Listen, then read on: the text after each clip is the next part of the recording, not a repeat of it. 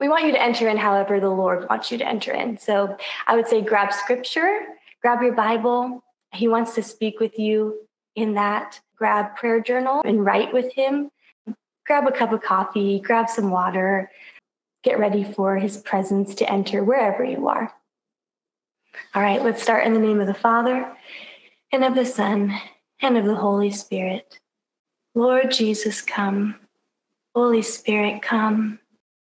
Let all who dwell in the world show him reverence. For he spoke, and it came to be, commanded, and it stood in place. Behold, the eye of the Lord is upon those who fear him, upon those who count on his mercy.